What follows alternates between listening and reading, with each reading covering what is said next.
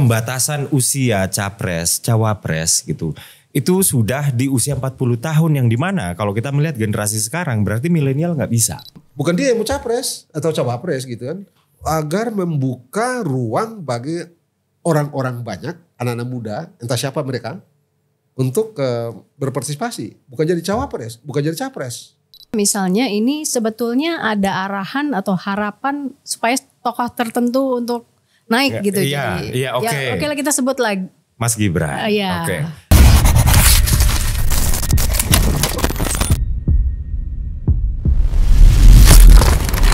Syarat usia minimal capres dan cawapres diuji material ke Mahkamah Konstitusi oleh anggota Partai Solidaritas Indonesia.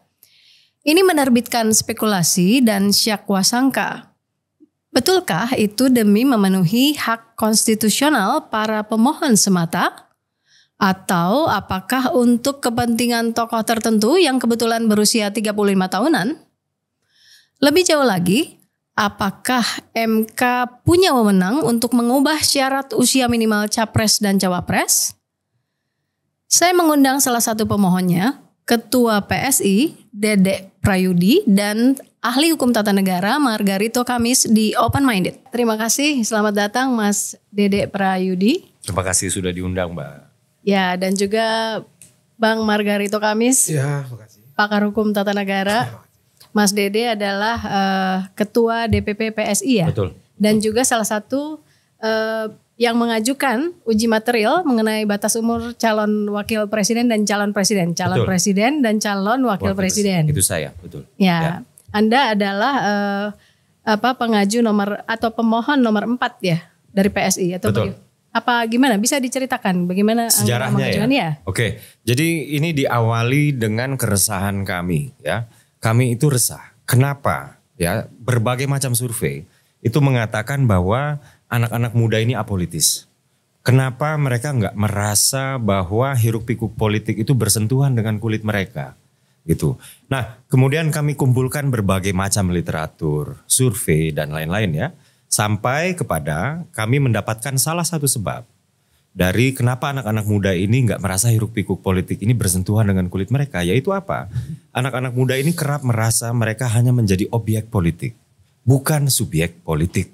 Gitu. Nah, berangkat dari keresahan kami, sebenarnya upaya kami untuk melibatkan anak muda, untuk meningkatkan partisipasi politik anak muda, itu nggak hanya di sini, ya. Tapi ini adalah salah satunya dan ini heboh belakangan. Nah, uh, kemudian kami melihat lagi apa sih yang membuat anak-anak muda ini merasa mereka itu hanya menjadi objek politik aja, bukan subjek politik gitu. Nah, salah satu yang kami lihat itu kemudian kami temukan bahwa eh, kok pembatasan usia capres, cawapres gitu. Itu sudah di usia 40 tahun yang di mana kalau kita melihat generasi sekarang berarti milenial nggak bisa. Gitu ya. Nah, eh, atas dasar diskusi kami di DPP PSI berangkat dari sebuah keresahan, inilah yang kemudian eh, membuat kami eh, meminta tim lembaga bantuan hukum PSI untuk membuat sebuah dokumen. Ya, dokumen yang kemudian menjadi eh, dokumen legal untuk kita ajukan judicial review ke MK gitu. Nah, kembali kepada diskusi tadi dulu ya. Itu diskusinya bermulai dari Desember 2022. Jadi nggak betul ya misalnya ini sebetulnya ada arahan atau harapan supaya tokoh tertentu untuk naik Ya, gitu. iya, Jadi, iya, oke. Ya, oke lah kita sebut lagi. Mas Gibran. Iya. Oke. Ah, belakangan ini memang Mas Gibran itu kerap ya dihubung-hubungkan atau digadang-gadang ya atau belakangan saya malah mendengar lagi bahwa di bulan Juli itu elektabilitas Mas Gibran itu sebagai calon RI2 itu naik gitu. Dan kita pada Desember 2022 itu kan nggak pernah bisa menerka-nerka bagaimana dinamika politik di 2023 yang serba cepat ini akan akan menjadi seperti apa kita nggak nggak ngerti waktu itu. Jadi pengakuan Anda bahwa sebenarnya nggak ada hubungannya sama sekali. nggak ada hubungannya sama sekali. Kita kita nggak pernah tahu ya misalnya eh, apa namanya publik gitu akan akan ber, ber, ber- apa ya berfantasi berspekulasi seperti apa terkait dengan RI 1 dan RI 2 karena dinamikanya begitu cepat Dinamika politik 2023 ini, hari ini apa, besok apa, konstelasi udah berubah. Dan ini sama sekali di luar, it's beyond our imagination. Saat itu, tujuan kami hanya ingin membuka seluas-luasnya kesempatan buat anak-anak muda.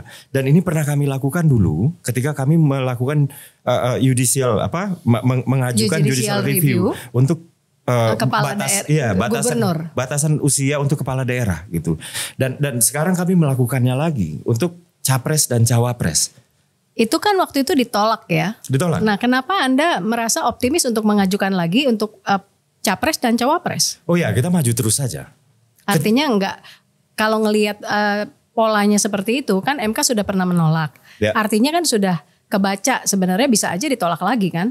Sangat bisa, Iya. sangat bisa, sangat bisa. Cuman yang namanya ikhtiar ya Mbak ya. Iya. Artinya kita itu yang penting sekarang ini coba aja dulu gitu. Ketika ini berhasil atau tidak itu bukan kontrol kami, itu kontrolnya MK. Iya. Yang menjadi kontrol kami adalah kita mengupayakan dan upaya kami ya sebagai partai politik yang ingin membuka ruang seluas-luasnya buat anak muda berpartisipasi di jabatan-jabatan politik di daerah, di pusat legislatif dan juga eksekutif. Ini kan nggak cuman ini, gitu. Jadi ketika ini ditolak, it's beyond our control. Ya. Ya. Jadi summary-nya adalah Ya. bahwa ini sebenarnya betul-betul tidak ada hubungannya dengan uh, konstelasi politik yang terjadi belakangan ya artinya. Saya saya perlu klarifikasi satu lagi. Pada bulan lalu, ya, ketika ketika eh, Dewan Pimpinan Wilayah PSI mengumumkan hasil rembuk rakyat PSI untuk DKI 1 dan DKI 2, ya. Kami justru menjagokan Mas Gibran. Hmm. Jadi kalau dihubung-hubungkan ya JR kami ini dengan Mas Gibran sebagai RI 2, ntar dulu justru kami menjagokan Mas Gibran buat DKI 1 Ya. gitu. Oke. Jadi ini sama sekali apa ya namanya ya connecting the dots. Orang-orang itu kan banyak yang menyimpulkan menggunakan apa menarik pattern dengan cara connecting the dots, tapi banyak dotsnya tuh missing. Salah satunya yang yang missing yang paling yang paling krusial adalah kami ini mendukung menjagokan Mas Gibran untuk DKI 1, Pak. Ya, kejauhan ya kalau menjagokan Betul. sebagai cawapres gitu Betul, ya intinya. betul. Oke, sekarang saya ke Bang Margarito nih.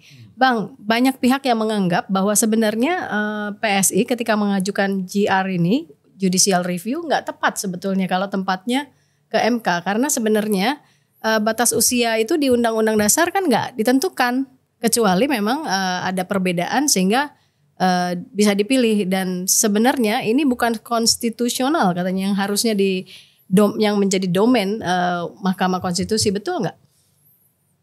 Betul. Ya artinya eh, salah nggak mereka melakukan salah alamat nggak? Ada dua. Ya, Karena tadi dia bilang gitu ya. Kan dia bicara soal apa eh, make-nya kurang maju. anak-anak muda yang eh, mau dikasih kesempatan kan, bukan dia. Hmm. Begitu. Padahal untuk eh, GR itu kerugian konstitusionalnya mesti potensial dan atau konkret. Actual dan atau eh, potensial gitu. Apa ruginya? Orang anak-anak muda dia bilang untuk orang-orang gitu kan. Yang ini juga abstrak. Hmm. Begitu jadi saya rasa dengan eh, dua hal ini hampir bisa dibilang eh, apa GR ini akan tidak diterima. Oh begitu. Ya, hampir bisa dibilang. Hampir saya memiliki keyakinan cukup untuk mengatakan ini tidak bakal diterima karena dua hal itu tadi. Dia bilang eh, bukan dia yang mau capres atau cawapres gitu kan, agar membuka ruang bagi orang-orang banyak, anak-anak muda, entah siapa mereka, untuk eh, berpartisipasi, bukan jadi cawapres, bukan jadi capres. Hmm. Itu aja udah dari segi perlawanan konstitusi, dari segi argumentasi konstitusi udah gak tepat. Satu, yang kedua itu tadi Anda bilang itu. Ini wewenangnya eh, DPR, bukan wewenangnya Mahkamah Konstitusi. Dan Mahkamah Konstitusi sudah berkali-kali menghadapi eh, kasus seperti ini, itu menyerahkan pada DPR. Begitu. Jadi atas dasar dua hal itu saya memiliki keyakinan untuk mengatakan bahwa ini tidak bakal diterima. Tetapi sebagai sebuah usaha, saya merasa ini sebuah tes yang bagus. Bagusnya Gitu di mana? ya. Bagusnya di mana? Itu tadi Anda memulainya dengan, dengan sangat bagus. Anda mengatakan bahwa di Undang-Undang Dasar itu tidak diatur sama sekali. Ya. Iya di Undang-Undang Dasar. Jangan diatur, diperdebatkan pun tidak. Pada waktu Undang-Undang Dasar 1945 itu dibuat pada bulan Juli dulu, itu tidak dibicarakan sama sekali soal soal soal apa? Soal uh, usia ini. Bahkan uh, kalau anda cek perdebatan di PU PKI waktu itu, presiden itu mereka maksudkan dia sebagai orang atau lembaga tidak diperdebatkan, diterima begitu aja. Iya. Begitu. Nah sekarang kalau Tapi- balik ke Hmm, soal, soal tadi ya. ya, uji- uji material tadi, Saya sebenarnya gini, sebenarnya seperti bagaimana sih sebenarnya seharusnya untuk melakukan uji material itu yang betul? Ya satu ya, iya satu yang mengajukan itu mesti merasa dirugikan, actual dan atau potensial. Artinya PSI itu harus punya kader yang mau maju, Misalnya dia yang mau didaftarin, jadi Ya memang saya yang didaftarkan. nah, misalnya, ya, mau jadi cawapres misalnya, begitu. dia yang mau nyap, nyawap, ca- Capres atau cawapres, gitu iya. ya.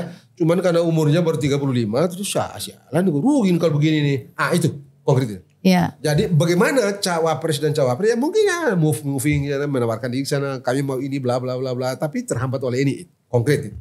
Tapi kalau dia mau bikin itu karena orang lain rugi seperti tadi bertolak dari survei-survei yang kita juga bisa perdebatkan eh, validitas survei itu gitu ya. Maka eh, saya mesti jujur level eh, constitutional validity-nya itu tidak cukup. Walaupun ya, saya sempat ngomong begini sama seorang teman, eh Anda serius nggak? Kalau Anda serius, aku maju jadi ahli dong. Aku mau deh. Karena bagi saya, ini sekali lagi, betapapun argumentasi-argumentasi tadi, tetap saja ini sebuah tes yang bagus. Tes konstitusi yang bagus. walaupun Bang Margarito meyakini bahwa ini nanti Ya. mungkin hasilnya Eh, negatif. negatif, Negatif. ditolak lagi Ya. seperti yang sebelumnya. Ya. Tapi kan akan bagus kalau kita uh, terjadi diskursus gitu ya. Iya. Ada argumen yang hebat dari mereka. Sesuai dengan nama channel ini, Diskursus Nah, Net. diskursus itu. Ada diskursus yang hebat. Intermezzo, sedikit. intermezzo. Eh, ya. Ada diskursus yang hebat di di di di di, di, uh, ruang pengadilan gitu ya. Mereka punya argumentasi, pemerintah punya argumentasi, DPR punya argumentasi, PSSI dengan ahli-ahlinya punya argumentasi, lalu itu dielaborasi em, secara dalam oleh Mahkamah Konstitusi di dalam sidang itu. Itu kan akan hebat sekali eh, kita dapat sebagai orang masyarakat intelektual baik di politik maupun di di tata negara itu akan memperoleh em, hal yang hebat sekali. Iya. Kalau misalnya dia bikin terus yang untung si Gibran, apa salahnya? Tapi kan katanya mungkin gak diloloskan. Iya, ka- katanya kalau Iya. mereka kita nggak tahu nih. Kan Iya. tadi dia bilang ini eh, not eh, kontrol mereka begitu kan. Eh, terus katakanlah gimana gimana terus dia lolos. Terus Gibrannya dicalonin. Terus mau apa? Iya, kan Dari segi apa? konstitusi enggak kenapa? Dari segi konstitusi gitu. Apa apa salahnya? Orang Nggak di warga negara ya? ah, ada enggak ada yang salah. Dari segi konstitusi ya. Iya. Dari segi politik saya nggak tahu. Saya nggak mau bicara politik. Dari segi konstitusi apa yang salah orang dia warga negara dewasa begitu ya dan dipilih orang misalnya begitu ya. So what? Hmm. Begitu itu. Jadi udahlah ah, kita mau nyantai aja dah kalau Iya. saya begitu ya. Kan Anda juga tidak mau dipotong hak Anda sebagai warga negara. Kalau satu hari nanti orang-orang mencalonkan Anda begitu misalnya begitu ya. ah, Anda tidak bisa bilang loh, orang tidak bisa bilang oh si Asmin begini-begini nggak bisa. Anda orang dewasa, warga negara, sehat, waras, kenapa? Atau malah nanti dibatasi umur 70 udah nggak bisa nyapres gitu kan atau 60 gitu atau ah, batas maksimalnya malah yang dibatasi itu diskriminasi juga kan. Eh, Nah itu dia orang siapa eh, Joe Biden kalau kita Amerika gitu kan, Joe Biden berapa? Anwar Ibrahim juga. Anwar Ibrahim berapa? Coba begitu ya. Dan, enggak lah. Cuman apa pun itu yang kita kan yang yang susah di kita itu kita tidak memperoleh reasoningnya. Kenapa? eh, termasuk ya. Kenapa mereka pilih 40? Kenapa tidak? Karena kita memiliki pengalaman sejarah begitu ya. Sejarah tata negara kita dan sejarah politik kita menyodorkan orang yang namanya Sahrir menjadi perdana menteri dalam situasi negara yang begitu kredit di usia 36 tahun. Ya. Oh gitu kan. Nah. Muhammad Al-Fatih waktu bikin eh, ke eh, Turki Utsmania umurnya berapa? Baru Ya. 20, 21, 22 tahun gitu. So, Tapi kondisinya Oh, mungkin kondisinya berbeda, berbeda ya. gitu ya. Nah, inilah- Nah, karena itu kalau kita sekarang taruh dengan 35 atau 20 atau 25, apa reasoning Anda? Reasoning Iya. Anda tahu aja dah. Nah itu dia inilah- yang saya mau tanya. Ya, inilah di di Mas alasan. Didi sebentar. Ya. Anda mempertanyakan kenapa 40 Ya. dan Anda menurunkan kenapa 35. Sebenarnya dua-duanya bisa dipertanyakan. Bisa kenapa mau tidak kenapa Bisa mau 35 sama Betul, seperti Anda betul. mempertanyakan kenapa 40 gitu Ya, kan? Mereka mengatakan usia 35 sampai 39 ini anak-anak muda ini masih labil. Dan ini tanpa pijakan yuridis, tanpa alasan saintifik yang solid. Sehingga ini menyakiti hati kami, gitu. Nah, inilah yang kami lakukan. Hei, kalau kamu nggak punya pijakan yuridis, kamu nggak punya alasan saintifik, udahlah balikin aja lagi ke undang-undang uh, uh, uh, Tahun 2003 dan 2008. Exactly terkait dengan batasan uh, minimum usia capres cawapres gitu. Nah kalau perdebatannya kemudian berkembang, kenapa nggak 17? Kenapa nggak 20? Kenapa nggak 25 gitu? Ini adalah di luar konteks uh, diskusi kami pada saat itu di PSI gitu. Kalau memang pada akhirnya, oke, okay, 17 boleh, kami senang banget mbak. Kami hmm. senang banget gitu. Tapi balik lagi konteks gugatan JR kami ini adalah kami menggugat alasan pada saat Undang-Undang tahun 2017 ini dibentuk, ya, Undang-Undang Pemilu tahun 2017 ini dibentuk, dan kami trace perdebatannya dan dan alasan dinaikannya batas minimum dari 35 ke 40 ini adalah karena anak muda dianggap masih labil. Nah ini kami nggak terima. Kurang lebih seperti itu. Dan semata-mata juga Anda pengen sebenarnya mengembalikan saja ke undang-undang yang lama. Kan Betul. waktu itu 35, kenapa iya. jadi 40? Betul, gitu. kami itu iri banget ya. Misalnya uh, uh, kami iri banget dengan Selandia Baru yang punya Jacinda Ardern. Ya. Dia menjadi Perdana Menteri saat usianya masih 38 tahun. Dan saat New Zealand diterjang badai Covid. Jacinda Ardern uh, atau New Zealand lah, itu salah satu negara yang menangani COVID dengan sangat baik, bahkan one of the best, salah satu yang paling baik gitu. Kemudian juga kami juga iri dengan Irlandia yang punya Leo. Leo ini menjadi perdana menteri saat usianya masih 38. Kami hmm. juga iri dengan Prancis yang punya yeah. Macron. Macron ini menjadi presiden saat usianya itu 39. Dan tadi uh, Pak Margar itu juga udah bilang bahwa kita punya sejarah membanggakan di dalam diri seorang Sultan Syahrir yang menjadi kepala pemerintahan, taruhlah bukan presiden, tapi kepala pemerintahan saat usianya masih 36 tahun. Dan ini adalah sebuah pengakuan bahwa anak-anak muda ini bisa itu. Ketika kemudian kami melihat perdebatannya di DPR dan lain-lainnya, kenapa dinaikkan jadi 40? Kita sakit hati gitu. Saya juga kan belum 40. Dan hmm. dan ketika dibilang masih labil, ya ada perasaan di mana ini nggak saya nggak terima karena alasannya kok cuma labil aja gitu dianggap nggak dewasa tantangan terlalu berat dan lain-lain tapi pemimpin dunia sudah membuktikan bahwa mereka bisa di bawah 40 Oke. Okay. Irlandia, uh, sorry, uh, apa Finlandia Bahkan itu uh, perdana menterinya usia masih 34 tahun. Tapi saya pikir kalau melihat perjalanan politik kita me, meng, apa, menurunkan batas minimum dari 40 kemudian ke 30 ini akan jauh lebih sulit daripada ke hanya 35. hanya kita sekedar ingin mengembalikan ke undang-undang pemilu lama yang ya? lama. Oke. Okay. Bang Margarito silakan. Mm, ya saya rasa uh, konstruksi hukum dari argumen-argumen tadi itu yang menentukan.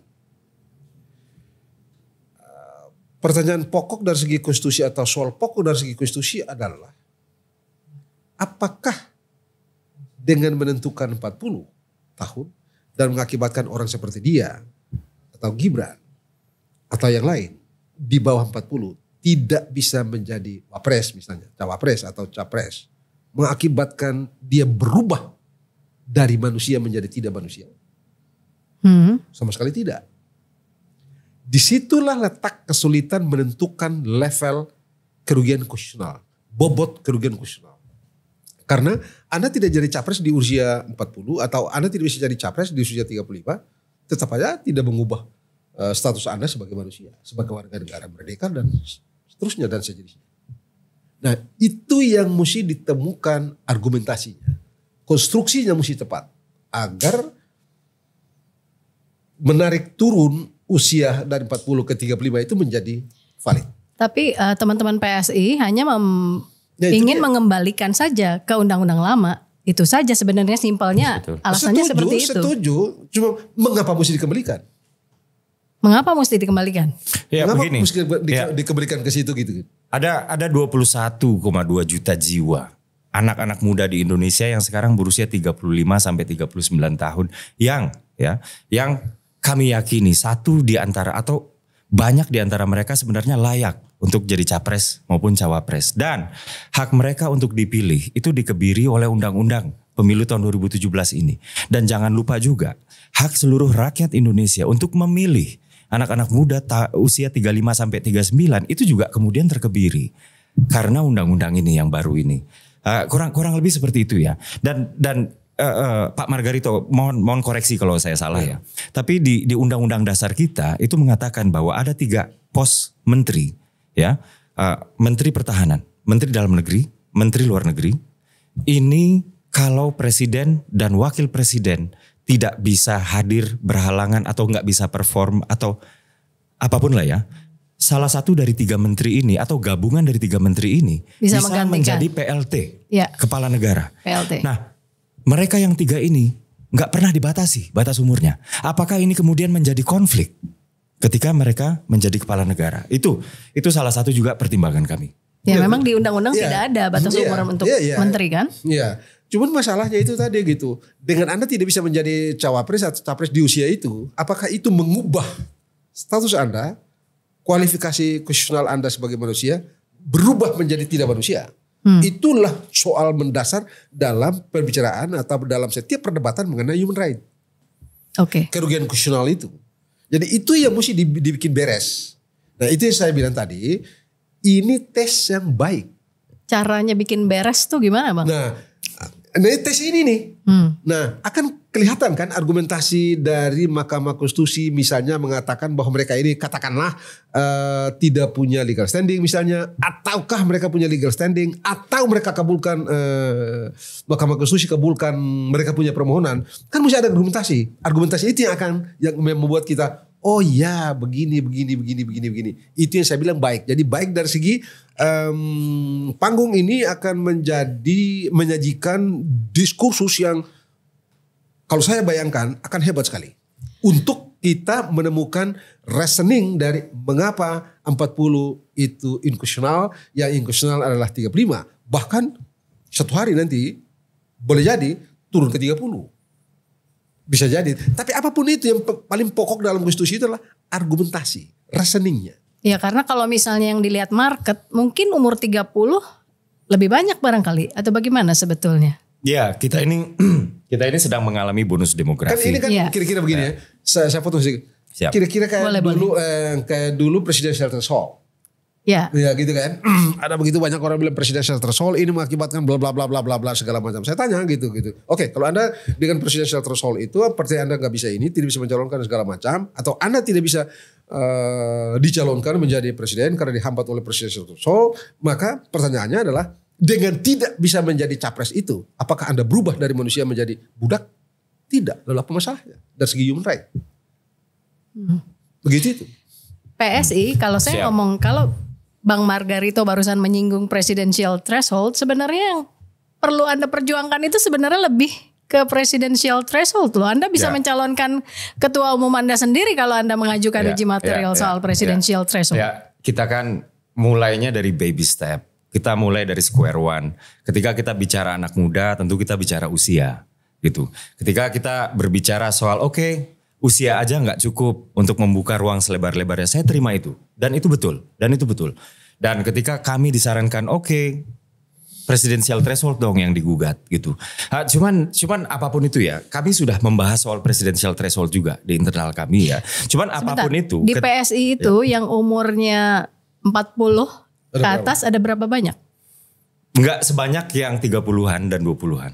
Ya artinya kalau misalnya Ya. Anda juga membarengi ini dengan presidential threshold sebenarnya kan Anda bisa maju sendiri. Ini aja kita udah capek mbak. Diskusi, debat gitu. Apalagi tambah lagi presidensial threshold. Apalagi pasti dikaitkan sama peristiwa politik apa pun ya.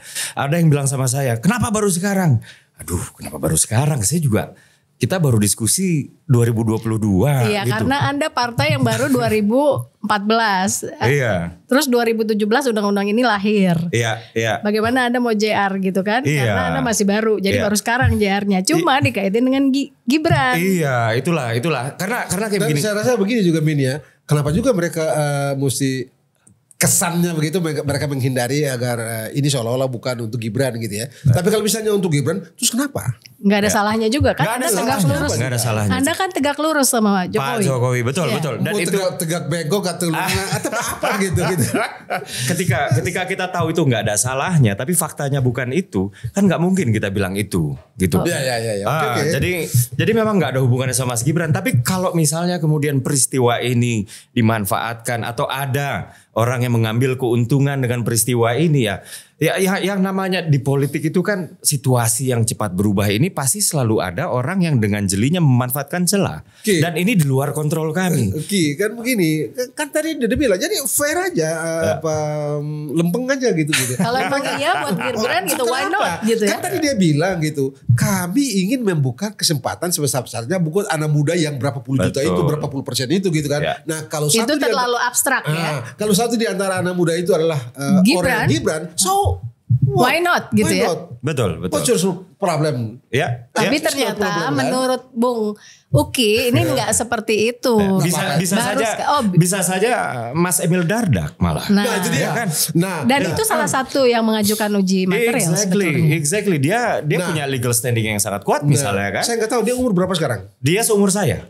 38 39. Artinya belum 40 juga. Iya Iya, iya iya. Ya. Saya sempat semalam itu eh, sempat ngingat anak itu. Hmm. Anak ini umur berapa ya? Em, karena dari pertemuan saya yang sangat parsial dan sangat singkat eh, beberapa tahun yang lalu, loh, oke juga nih anak nih. Oh, sangat cerdas. Begitu, Beliau ya. itu sangat cerdas. Nah, saya bilang oke juga nih anak Ah, ini. Waktu saya- dia mau jadi jadi Ya. calon apa bupati pada waktu itu. Ya, gitu. ya. Jadi tadi malam waktu setelah eh, Sul itu telepon saya, Ya. yang pertama, Emil itu berapa ya umurnya? Nah, gitu itu. Saya nggak tahu berapa umurnya gitu. Ya. Sekarang saya tahu. Tapi dia termasuk salah satu yang eh, termasuk salah satu pelapor nih. Ya, Oh, jadi Pengaju ya, pengaju pengaju gitu ya. ya, jadi jadi sedikit saja tentang Ya, ya. Emil Dardak ya. Beliau itu lahirnya sama kayak saya tahun 84 ya. Hmm. Suatu hari eh, saya pernah bertemu dengan beliau di kantor PSI ya. Saat itu beliau masih menjadi calon wakil gubernur ya, Hmm. Jawa Timur ya. Ya. Kami berbincang, berbincang, berbincang. Saya bilang ini orang keren banget gitu. Hmm. Ini orang keren banget. Bahkan saya pikir ini orang berhak untuk menghiasi panggung politik nasional, bukan hanya daerah Hmm. gitu. Dan apa sebagai catatan aja ya, apa track record akademiknya outstanding. Ya. Di usia masih 30 something, masih 30, di bawah 35 lah. Beliau ini sudah lulus S3 PhD dari Jepang. Coba. Dan Dari APU University ya. ya dan dan dan apa Tapi namanya? saya tapi kira- kira-kira begini lah. Kira-kira begini lah.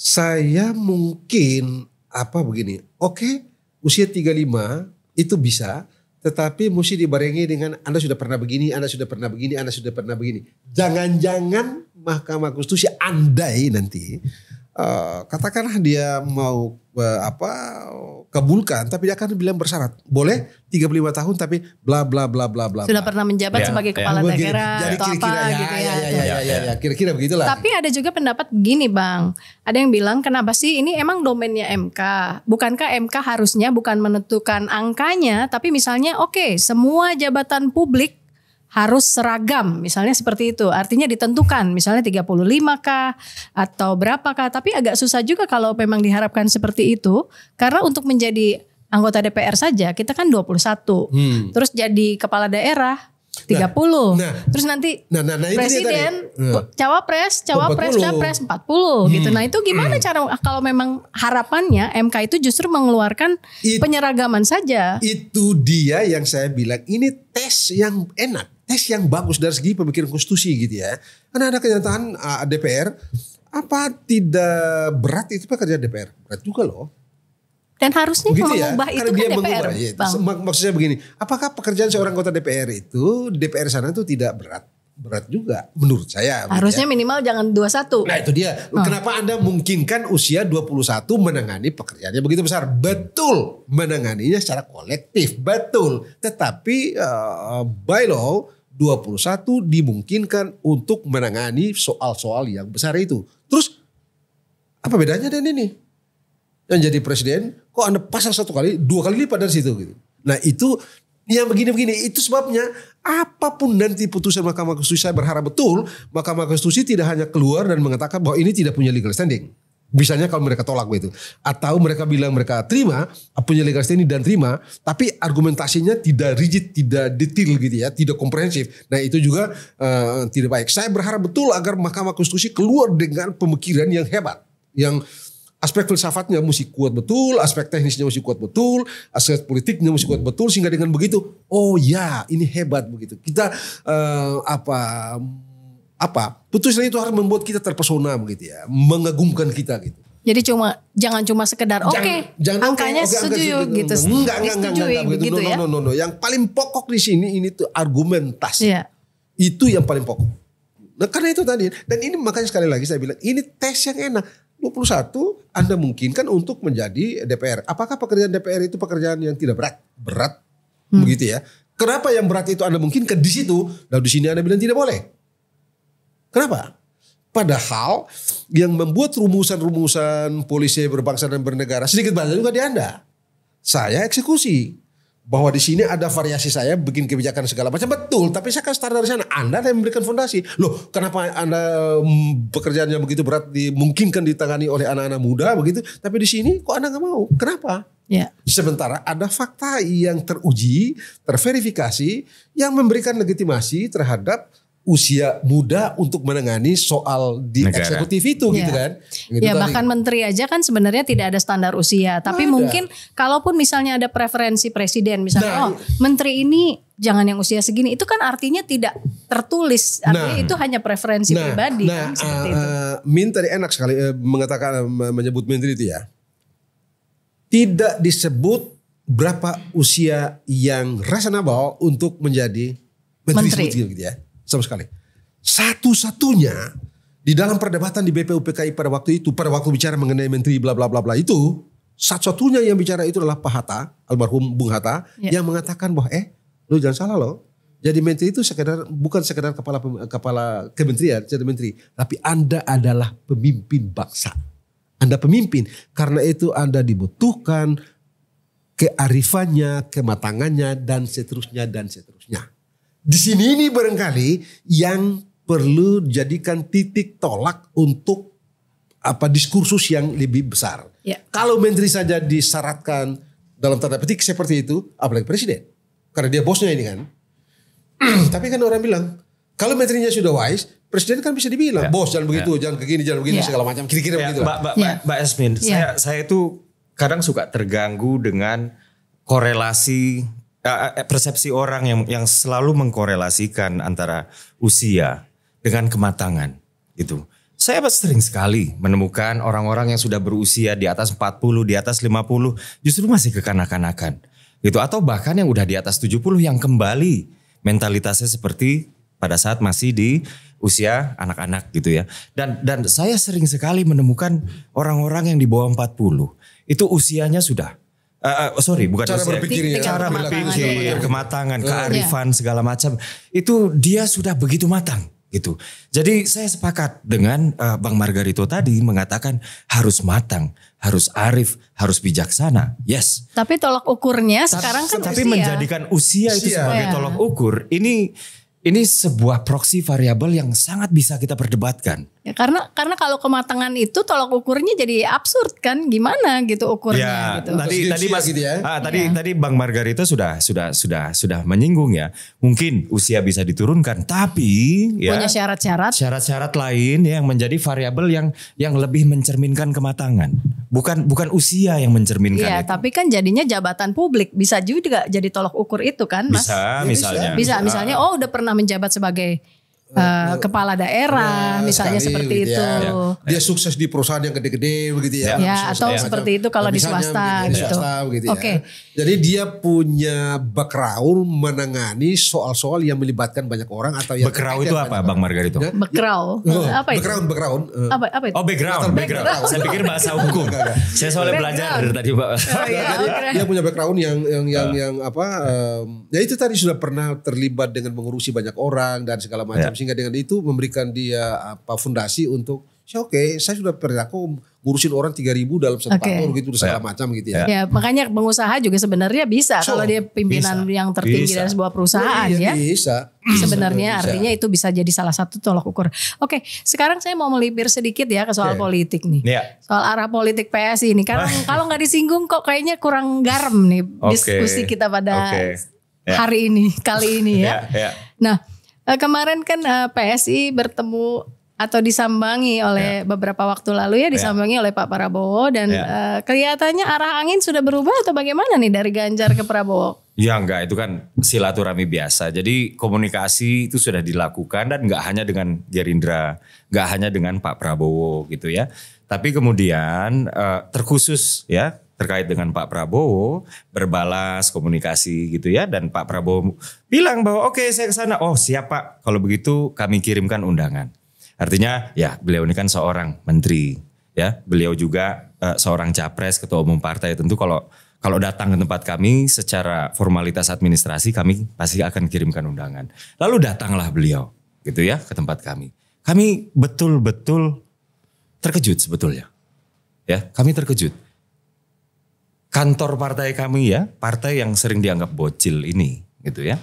Partai kecil non parlemen gitu. Bukan kami loh yang datang sowan tanda kutip tanda kutip ya ke ke Gerindra. Justru mereka yang datang ke kami gitu. Dan di dalam, nah ini harus saya bocorkan sedikit ya percakapan tertutupnya antara antara PSI dengan Gerindra. Pak Prabowo ya dengan PSI itu tidak satu kali pun menyebut kata koalisi, tidak satu kali pun. Ya, bahkan Pak Prabowo itu mengutip ucapan Pak Jokowi saat itu bahwa 13 tahun ke depan adalah 13 tahun paling krusial untuk Indonesia menjadi negara maju terkait dengan bonus demografi dan lain-lain. Dan dan apa namanya akan tetapi kita dihadapkan dengan sebuah tantangan yang begitu maha berat yaitu eh, ketidakpastian global yang begitu tinggi. Itulah kenapa kalau kita mau maju modalitas paling utama adalah persatuan. Gitu. Pak Prabowo menyinggung soal persatuan. Dan dari PSI saat itu kami mengatakan bahwa kita mengapresiasi setelah tahun 2011 eh sorry 2019 Pak Prabowo dengan Pak Jokowi sengit banget ya pilpresnya ya. Kami mengapresiasi Pak Prabowo yang kemudian bergabung menjadi rekan koalisi Pak Jokowi. Bayangkan misalnya ketika badai Covid menghantam, ancaman resesi, ancaman krisis pangan gitu ya. Ketika ini dihadapi ya dengan kondisi internal negara kita yang penuh dengan rongrongan misalnya kayak begitu ya, Ya. rongrongan internal. Saya yakin kita nggak akan semulus itu menghadapinya. Covid misalnya kita one of the best lah. Pak Jokowi sering banget dapat dapat apresiasi dari negara lain bagaimana kita bisa menyeimbangkan aspek kesehatan dan aspek ekonomi. Misalnya seperti itu dan lain-lainnya. Nah inilah yang kami apresiasi kepada Pak Prabowo dan saat itu eh, eh, Wakil Ketua Dewan Pembina kami mengatakan saya juga berterima kasih kepada Pak Prabowo yang mau datang ke kantor kami yang kecil ini. Padahal kami sudah deklarasi dukung Ganjar dan belum menarik dukungan kami kepada Pak Ganjar. Nah, berarti saya harus tanya nih ke pertanyaan berikutnya. Jadinya ke depannya PSI akan tetap mendukung Ganjar Pranowo atau akan menarik dukungannya dan mendukung Prabowo Subianto. Namanya dukung nama Ya. di atas kertas dukung Ganjar. Oke, Di dalam praktek dukung Prabowo. itu katanya Bu Marga- Margarito Jadi di kalau Kan untuk bisa. kalau kalau kalau untuk par, parpol itu kan bukan hanya soal dukung tapi mengusung. Iya, mengusung. Iya, Oke. ini ini adalah dua hal yang berbeda. Oke. Oke. Jadi dari mendukung itu sudah kami lakukan rembuk rakyat. Iya. Ya, mekanisme yang kami sebut itu rembuk rakyat itu adalah mendekatkan lagi antara pemilih dengan pemilu sehingga pemilih ini nggak hanya disodorkan capres-capres yang di mana itu hasil dari eh, pertemuan gelap-gelapan lah. Nah, eh, mereka sudah dilibatkan dari menentukan eh, capres Iya. dan yang menang adalah Mas Ganjar. Kami mendukung Mas Ganjar gitu. Tapi kalau di level parpol soal mengusung ini adalah soal koalisi. Iya, ini adalah dimensi permasalahan yang lain. PSI sampai sekarang belum masuk ke keretanya PDIP Perjuangan gitu. Oh, iya. PDI Perjuangan. Iya. Jadi maksud saya gini loh, mungkin Anda beralih ke Prabowo karena memang Anda ditinggalkan. Ya memang Iya harus harus saya akui ya ada kekakuan komunikasi antara PDI Perjuangan dengan PSI beberapa bulan terakhir dan ada bottleneck ya di antara kami ya PSI dengan PDI Perjuangan gitu. Nah, eh, kami terus berupaya dan beberapa hari terakhir ya Mbak Grace Natali itu sedang membangun komunikasi yang intens dengan petinggi PDIP ya saya saya nggak berani sebut nama ya karena mungkin orangnya juga nggak mau disebut. Untuk supaya kami bisa datang ke kantor mereka. Gitu. Di beberapa kesempatan ya saya juga pernah berdebat dengan Mas Arya Bima gitu. saya bilang Mas Arya tunggu saja. Insya Allah saya akan datang ke kantor Mas Arya sebentar lagi kayak gitu Datang kalau nggak diundang kan nggak bisa. Nah ya itu dia makanya komunikasi kan sedang dibangun. Dan belakangan Mbak Puan ya eh, juga mengatakan bahwa kami dengan senang hati apa namanya ya menerima PSI kayak gitu loh. Eh, apakah ini kaitannya dengan kunjungan Pak Prabowo sehingga ada dampak sikap politik dari partai lain? Saya nggak tahu gitu. Tapi yang jelas, yang jelas eh, PSI tentu ingin membangun komunikasi politik dengan siapa pun, apalagi dengan PDIP ya, rumah politiknya Pak Ganjar, orang yang sampai sekarang kami dukung, kami tidak pernah mencabut dukungannya. Gitu. Oke. Jadi Anda masih mendukung Ganjar dan eh, masih menunggu diajak Ya, oleh PDIP. jadi jadi kalau, Kalau mendukung gini. itu prosesnya adalah rembuk rakyat. Iya. Mengusung itu adalah proses final yaitu Kopdarnas. Oke. Ini akan terjadi 22 Agustus nanti. Artinya gini, kalau Anda misalnya sampai Anda nih PSI ya, kalau sampai mendukung Prabowo, itu apakah karena memang tidak diajak oleh PDIP atau memang atas karena Anda tegak lurus sama Presiden Jokowi, apakah mungkin ada message tertentu sehingga Anda mendukung Karena yang kedua. Subianto? Karena yang kedua.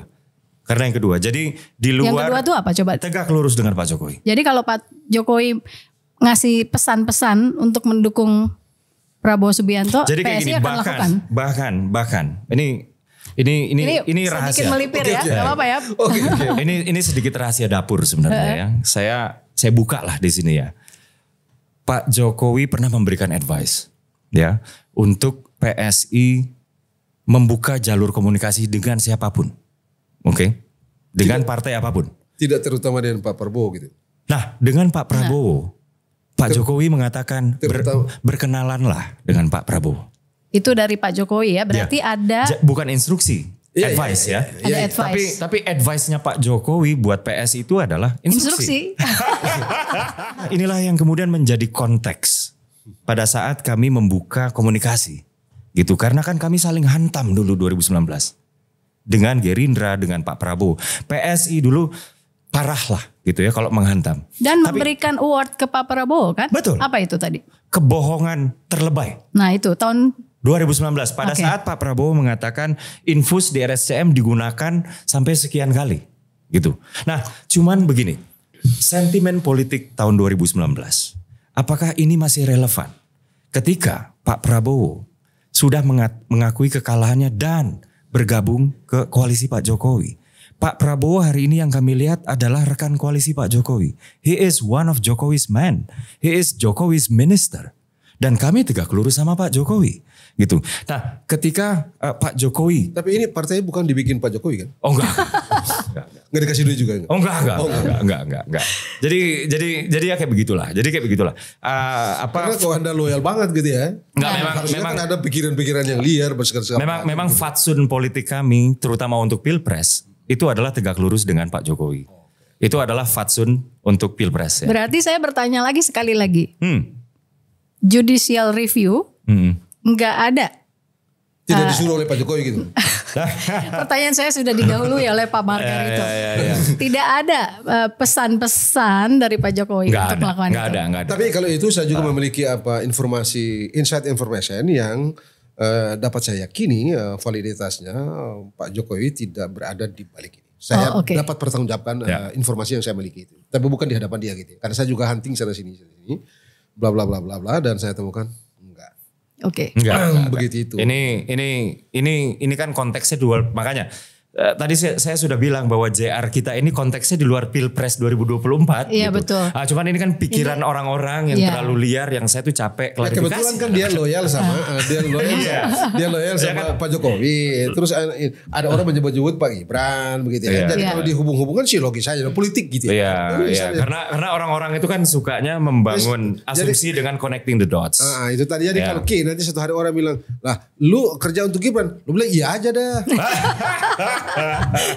Saya ini belum pernah ketemu Mas Gibran sekalipun. Oh betul. Belum ketemu Pak Jokowi udah beberapa kali, tapi ketemu Mas Gibran sekalipun. Berarti dalam pertemuan itu nggak ada pesan-pesan sponsor belum. ya? Nggak ada, nggak ada, nggak ada. Kunjungan Pak Prabowo Iya. ke Nah, jangan PSI. lupa loh, jangan lupa loh ya. Ken- Kenapa diheboh? Kenapa seheboh itu ya? Bahkan jauh lebih heboh deket- daripada ketika Mbak Puan bertemu Prabowo. Ketika Mbak Puan ketemu Mas Ahaye. Partai-partai lain udah melakukan itu semua gitu. Tapi ketika Pak Prabowo ke, ke PSI, ini saya juga kaget gitu. Magnitud pembicaraannya itu begitu besar. Bahkan ini udah lewat dari seminggu. Saya masih di sini ngomongin itu loh. Ya dan karena karena kalian eh, mendukung Ganjar Ya. Tetapi dan didatangi oleh Prabowo Subianto gitu. Loh. Dan didatangi. Nih, dan ini tadi misalnya setelah mendapat advice agar ah, berkenalan lah Anda- dengan Pak iya. Prabowo. Ya, cuma kan ini advice ini nggak ada kaitannya dengan koalisi. Mungkin Pak Jokowi mikirnya kayak gini lah. Ini kan kita sekarang udah temenan semua gitu. Kok kamu masih kaku aja sama yang itu gitu loh. Atau ya kamu udah bangun komunikasi ke sini bagus, bangun ke sana bagus, bangun ke sini oke mantap. Kok yang itu masih belum? Kayak Dan gitu buat loh. backup lah kalau misalnya nggak naik kereta yang itu jadi bisa naik kereta yang ini. gitu. Dan kalau eh, de- kalau Pak Prabowo penting juga dia melakukan itu oleh karena dia mesti terlihat cair di mana-mana dan jangan lupa kan dalam pilpres itu satu suara bisa membuat anda kalah dan satu suara bisa membuat anda menang. Ya. Dan eh, PSI itu punya suara setidak-tidak ada adalah gitu ya. Ya. Jadi eh, saya rasa orang-orang partai yang sekarang mulai mengidentifikasi diri untuk menjadi capres cawapres begitu yang tidak melakukan komunikasi sana sini saya kira itu justru merugikan sebaliknya kalau dilakukan seperti sekarang justru menentukan mengapa itu tadi satu suara menentukan anda naik atau turun Hmm. jadi lakukanlah se- komunikasi, silaturahim dan apa pun yang sejenisnya sebanyak-banyaknya, sehebat-hebatnya sehingga bisa mengantar Anda ke atas ke kursi yang memesona, kursi yang lain-lain itu. Ya, Bang, sedikit nih ya sebelum kita berakhir soal eh,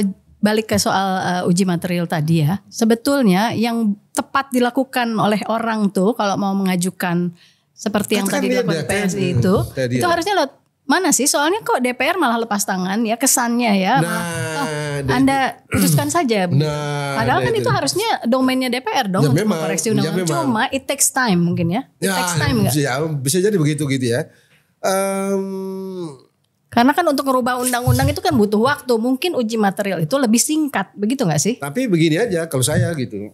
kalau memang nah ini nah ini politiknya gitu ya. Sebab begini. Kalaulah memang ada kesepakatan dan Pak Jokowi misalnya menghendaki 35 tahun katakanlah kalau dia mau ikut bermain Pak gitu ya. Jokowi menghendaki. Ya menghendaki gitu ya. misalnya begitu ya. Dia bisa bikin aja perpu. Ya. Tapi kan gak enak dan gak elok dong kalau sendiri yang bikin. Sudahlah itu elok dan tidak elok itu urusan politik. Urusan hukum Anda itu punya kewenangan. Dan kalau tadi itu tadi reasoningnya ketemu, fine. Bang, kalau itu kasihan Pak Jokowi Bang. Karena apa? Soal Partai Golkar, Pak Jokowi disebut-sebut. Karena Bang Luhut mau masuk ke situ. Soal Demokrat, Pak Jokowi disebut-sebut. Karena Pak Muldoko mau masuk ke situ. Sekarang kalau Pak Jokowi suruh bikin perpu untuk nurunin begini. batas umur Tapi ya tambah kan jelek semua- lagi nanti tapi beliau. itu kan semua spekulasi, tidak bisa dijelaskan, tidak fakta-faktanya tidak bisa ditaruh di atas meja secara terbuka begitu secara objektif. Kecuali orang spekulasi begini, begini, begini, begini, begini dan begini begitu. Dan itu cair. Sementara sebagai orang hukum Anda mesti taruh di meja. Hmm. Fakta itu mesti dapat dicek oleh seluruh orang secara objektif. Di politik, karena itu tadi itu spekulasi. Ini jangan-jangan begini, ini jangan-jangan begini, ini jangan-jangan begini, ini jangan-jangan begini, ini jangan dan itu saya nggak mau. Saya orang hukum, Anda konstitusi memberikan kewenangan kepada Anda untuk ini, ini, ini, ini. Untuk menggunakan ini harus ada argumen ini, ini, ini. Kalau argumen itu ketemu, kenapa tidak? Oke. Nah, Tapi Anda kalau ada tadi, kalau tadi eh, Min bilang kan nanti tidak elok begini, soal rasa, Hmm. soal politik dan rasa tidak boleh dipakai, apalagi mendominasi begitu eh, pengambilan-pengambilan kebijakan publik.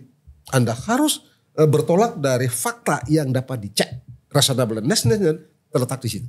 Jadi Bang, Nah, walaupun cuma memang itu tadi kalau bikin di DPR sana, lama depannya mau nggak? Oh. Ya, ya. Nah, partai-partai kalau, lain kalau, ya. kalau Gerindra mau gitu kan, Iya. PDP mau nggak?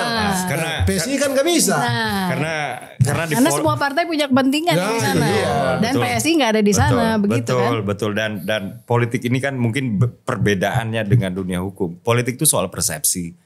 Nah, Dan- lobby. Dan saya nggak bisa. Dan iya, dan dan hukum itu ada reasoning segala macam. Sama, politik juga ada reasoning. Reasoning. Tapi reasoning yang yang tujuannya berbeda gitu.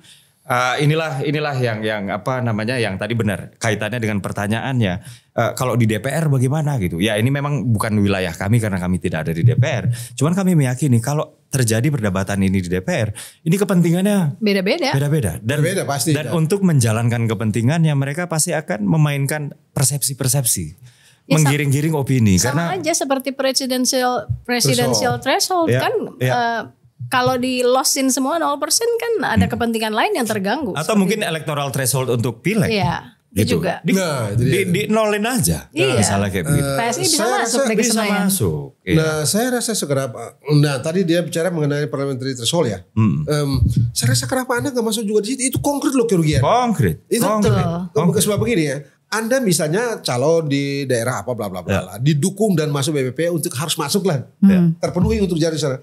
Gara-gara partai tidak sampai parliamentary threshold, Anda kepilih. Itu Iya. konkret kerugian kerugian. Loh itu kayak Samara kan suaranya gede. Nah. Isyana juga suaranya Grace, besar. Grace Natali Grace juga. suaranya 180 ribu Nah, tapi dia nggak bisa masuk karena Tapi dia nggak partainya. bisa masuk. Nah, kenapa nggak masuk? ya ini ini Kenapa kita nggak GR itu loh? Ya, we, we start itu. from a baby step. Kayaknya kami dibebani oleh tanggung jawab tanggung jawab Nah, kan konstitusional yang begitu berat. Kami ini bukan Tidak, tidak, siapa-siapa. tidak. PSI Tidak, punya tidak. tiga, tiga JR nih selain umur. Iya iya selain- iya. Dan Ki, ki, ki. P- Ya, Masalahnya PT, kami kami Pak, kami kami pernah lakukan satu terkait batasan umur kepala daerah. Sekarang kami lakukan batasan umur capres cawapres. Nextnya apa? Itu pasti Ya, pasti kami akan lakukan. Mungkin, mungkin presidensial, mungkin parliamentary. Nah. Who knows? Tapi tapi tapi yang jelas kita nggak akan diam.